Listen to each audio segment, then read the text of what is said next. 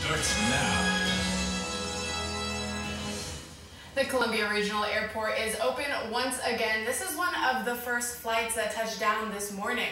The airport reopened early this morning after closing Tuesday for emergency runway repairs. Good evening, I'm Tana Kelly. And I'm Natalie Sapila. Thanks for joining us. The airport announced its reopening on Facebook this morning.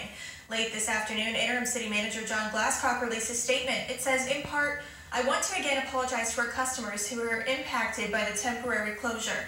I understand the frustration of having canceled, delayed, or changed flights. I am sorry for those customers who had unexpected out-of-pocket expenses. We will work to regain your patronage and hope that you will fly with us again.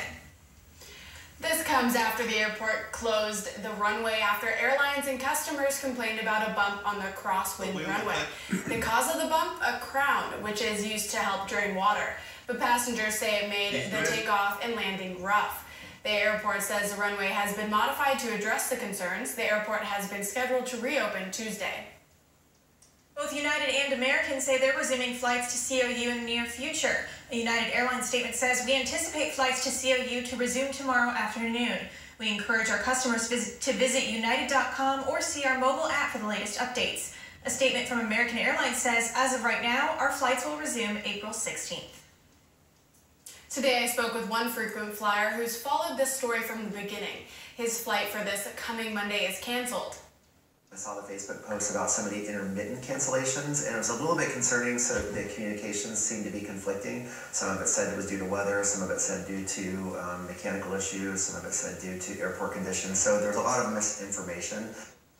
He praised the airport for its transparency once it announced the runway had to close for maintenance. he says even though his flight next week is canceled, the airport is still his go-to.